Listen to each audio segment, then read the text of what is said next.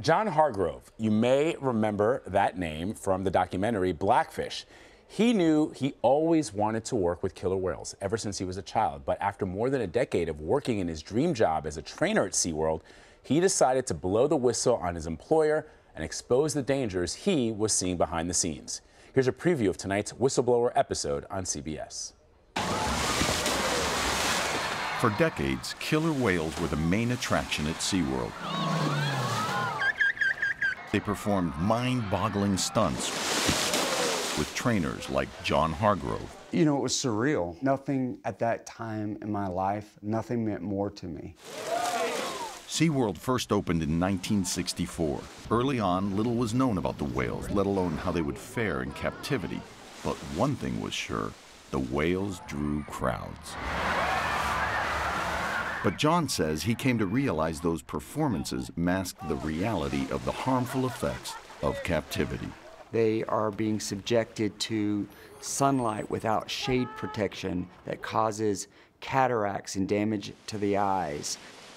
They're swimming in chemically treated water. You see them grinding down their teeth on the pool walls and ledges, breaking off their teeth where we have to go in and, and manually drill the tooth. I want to talk about aggression.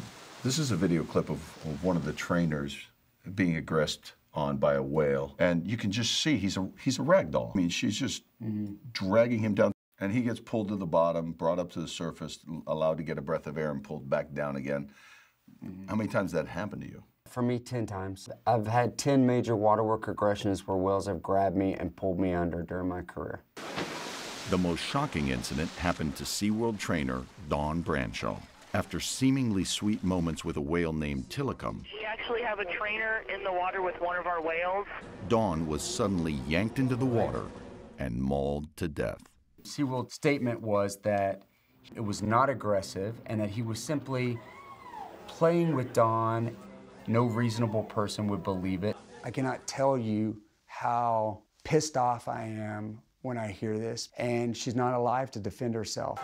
John claims SeaWorld downplayed acts of whale aggression, wanting to maintain its family friendly image. In a statement to Whistleblower, SeaWorld said, in part, they, quote, provide world class care and treatment based on the latest and most advanced science and animal welfare standards. Our animal care and rescue efforts are certified, supported, or reviewed by objective third party organizations. I knew the truth, and I just couldn't handle it anymore. Whistleblower host Alex Ferrer is here along with John Hargrove. Alex and John, welcome to you both. Oh, thank you very much. John, you always wanted to work with orcas, and then you finally get this opportunity to do so. How did your perspective change from being a kid who dreamed about killer whales to the reality of working for an organization like SeaWorld? Well, I think that's the key word. It's the reality. What you perceive it to be as a child, and even when you first began as a in your career, is completely different. What it really is behind the scenes, and it takes years of just progressing through your career and um, progressing up the ranks for you to see more and more and more, for you to realize what's truly happening to these whales in captivity.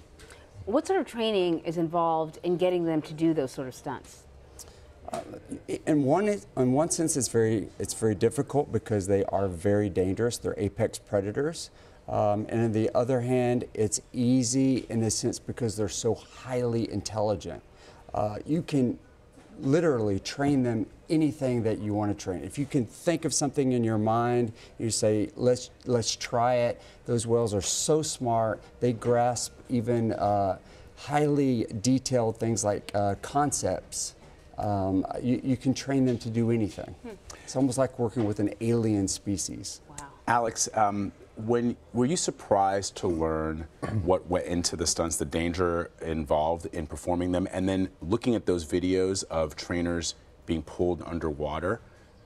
What did you think? I was flabbergasted. I mean, I, like everybody else, I went to SeaWorld as a child and took my kids to SeaWorld and, and watching the shows. You know, when you watch the show, it's an amazing stunt. You know that.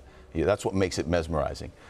But when you watch tonight's episode and you see John explaining the difficulty of the stunt, and you see some pictures of him underwater with the folds of his skin pulled back because he's going at a ridiculous speed, so fast that he can't see when, when the whale hits high gear before they break the surface. Uh, the danger and the difficulty of the stunt really, really hits home. So we saw in that little snippet that we showed, you know, partially why you decided to leave SeaWorld, but you didn't have, you could have just left. I mean, you didn't have to also start speaking out. Why did you both leave and then start speaking out?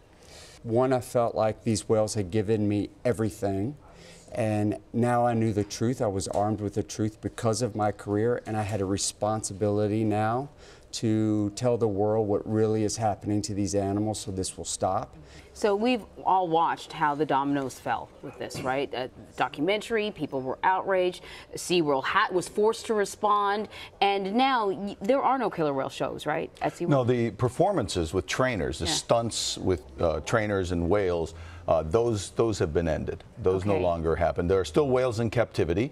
Uh, SeaWorld says for educational purposes, although I, I guess everything's relative. You know, Right. if you're a if you're a tiger and you have acres to roam, that's that's one thing. If you're a whale that flicks its tail three times and hits a wall and has to turn around, when you're used to swimming 100 miles a day in the ocean, Yeah. I, I wouldn't say they're comparable. Alex, John, thank you, Thank you so Thanks for much. having us. Thank you. Uh, you can watch the latest episode of Whistleblower SeaWorld, the case against captivity. It airs tonight at 8, 7 Central on CBS.